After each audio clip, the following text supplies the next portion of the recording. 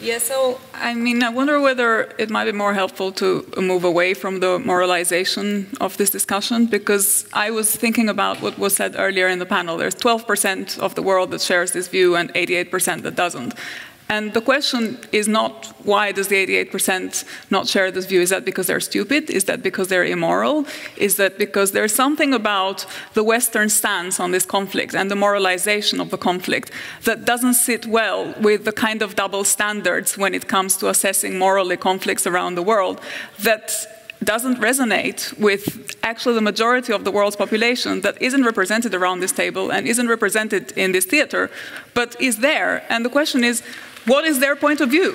It's not about the East and the West, it's about the majority and the minority. No. 88%. You don't Sorry. know that 88% believe that the Ukrainians should lay down and die. You don't know that. And, sec- and, and, since they are also human beings, I have to assume that if Oksana went to, to, to, to, Shanghai and had an event and told her story, she would find much sympathy and support. Secondly, 88%, 99% of people can believe something and still be wrong and 1% of the world can believe something and still be right. By supporting the Ukrainians and by fighting the Russians, one is not ignoring, neglecting, or endorsing the long history of colonialism that preceded it. But every single time I choose to order a meal, I cannot be expected to deal with the problem of colonialism.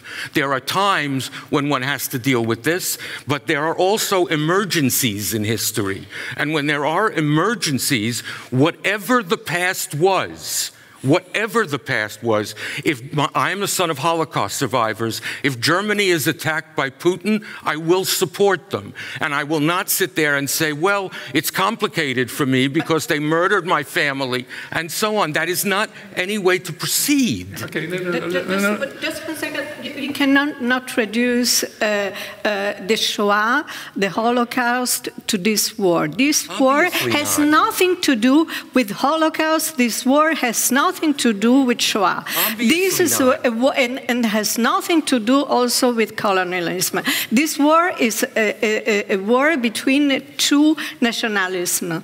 Uh, two, two, yes, two, no, two strong nationalisms. Yeah. Okay. I'm sorry. Okay, I want to shift it just slightly. Because what I think Donatella is talking about is not that the Ukrainians should lie down and die.